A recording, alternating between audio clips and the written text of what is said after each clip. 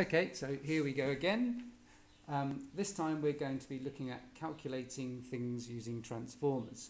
So here we've got our primary coil and you'll see it's got 300 turns on it and we've got a voltmeter here measuring the potential difference across that coil. Um, we've got a secondary coil there with 600 turns on it and another voltmeter which I haven't yet switched on. And what we're going to do is we're going to try to work out what the voltage will be on this multimeter and then check it out.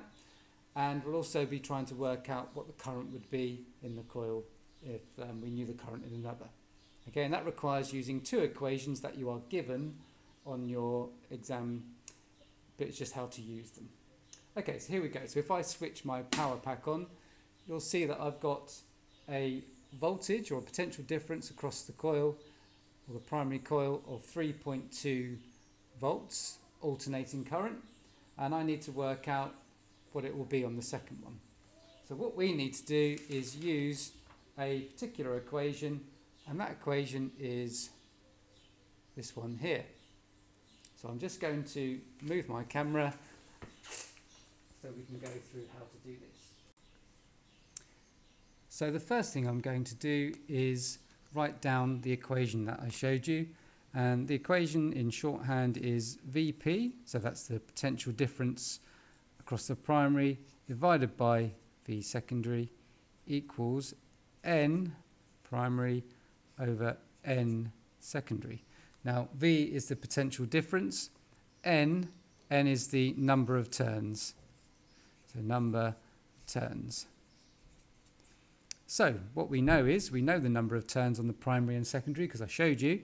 So we know that Vp divided by Vs equals 300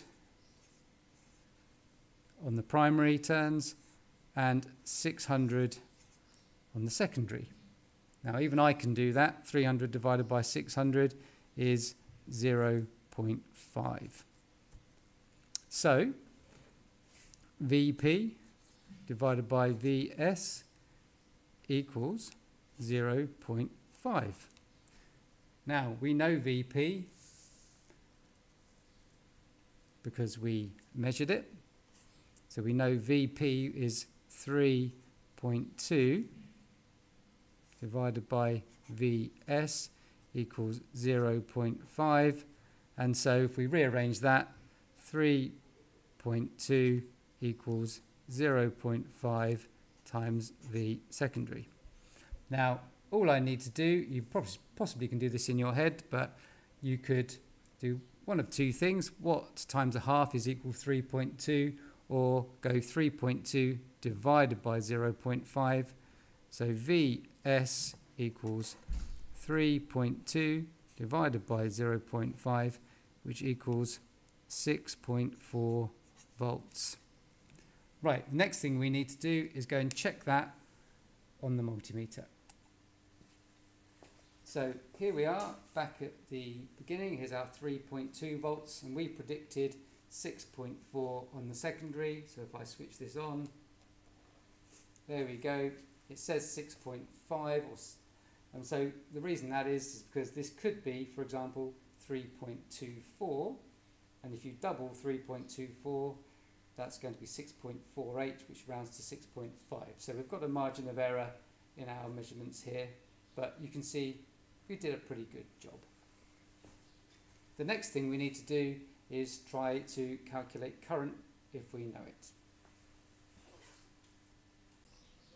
So the next part of this is to work out the current if we know it in the primary coil. And so here's the question, what is the current in the secondary coil if the primary current is 0.3 amps. And we need to use another equation that you are given, and that is this one here, VPI and VIS.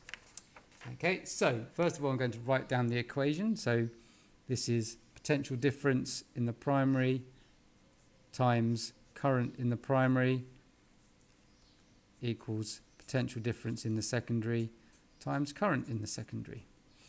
Now, we knew the voltage in the primary, which was 3.2, and we also know the current in the primary, which is 0.3. We knew the V in the secondary, which was 6.4, but we don't know the current in the secondary. So first of all, we do a little bit of maths on this using our beloved calculators.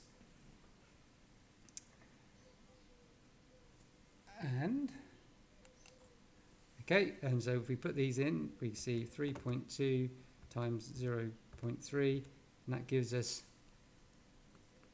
0.96 equals 6.4 times IS. Just going to move this up a little bit. Therefore, in order to calculate the current, we need to divide 0.96 by 6.4 equals IS, and that equals da, da, da,